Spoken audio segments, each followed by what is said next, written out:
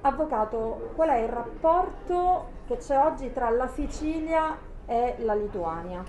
Ma i rapporti fra la Sicilia e la Lituania sono eh, intensi, ci sono dei rapporti tanto di amicizia storica, Palermo e Vilnius hanno un accordo di gemellaggio, anche il Palazzo Reale e il Palazzo del Granducale di Vilnius hanno un accordo di gemellaggio e questo ha dato luogo a tante iniziative sia di carattere eh, culturale, tante mostre sono state ospitate a Vilnius eh, di, della Sicilia e tante mostre di artisti e di prodotti lituani sono state ospitate a Palermo in genere in Sicilia.